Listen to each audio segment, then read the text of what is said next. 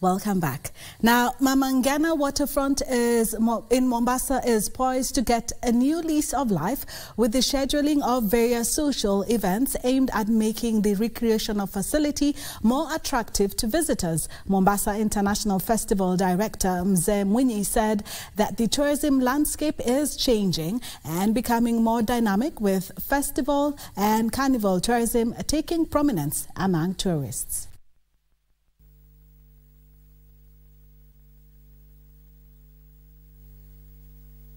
Utalii katika eneo letu hili la Mombasa. Kwa hivyo tunaalika uh, watu wote wa tabaka zote waweze kuja, waweze kupata fursa.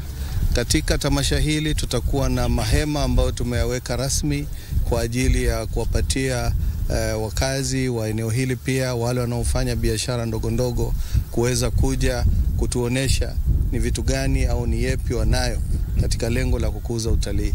Tutakuwa na activities tofauti tofauti, exhibitions kutoka state corporates, exhibitions kutoka private entities, biashara za kibinafsi za watu ambao wako katika eneo hili letu la pwani.